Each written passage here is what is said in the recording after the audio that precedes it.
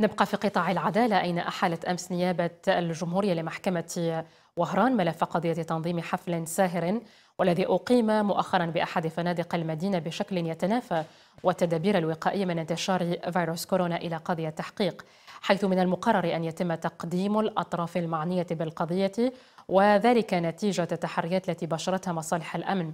وهذا حسب ما جاء في وكالة الأنباء بأن الأطراف تم مواجهتهم بتهمة مخالفة المراسيم والتنظيمات تطبيقا أو طبقا للقوانين.